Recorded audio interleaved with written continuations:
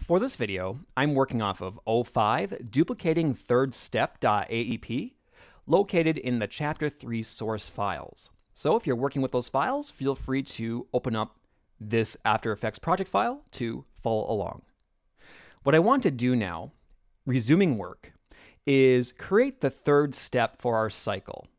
As you can see, if I were to scrub back and forth, we have a basic step in place. Of course, it's still rough, but what we need to do now is bring the third step back to where the first position was.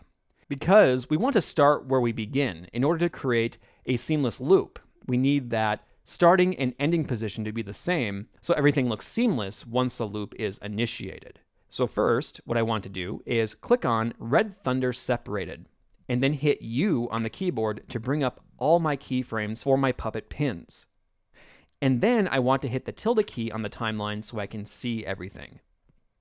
The first thing I want to do before duplicating this first frame, we need to anchor all the pins from the second step.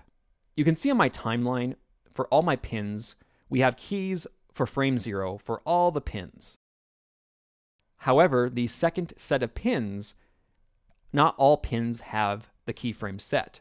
So that means if we don't have this anchored down for all frames, we're going to have what appears to be a floating effect with some of the limbs going back and forth. And so it's always best when working with animations like this to anchor everything down before moving forward. So all we have to do is just come over here. We're going to select this second set of keyframes. We'll click once on the previous keyframe button next to any of the puppet pins to make sure we are on frame 12. And then I want to select all these pins. So I'm going to start on frame 0 and come down and lasso all the pins. I want to, while still on frame 12, click once on the Add Keyframe button on any of the empty pins to add keys to the remaining positions that did not have pins. And you can see now everything is set down and we're anchored in so we can move forward with the third step. And for the third step, we're just going to bring it over to one second. And I want to come in, once again, select all the keys from frame zero, Command C or Control C if you're on Windows to copy, Command V or Control V if you're on Windows to paste the frames.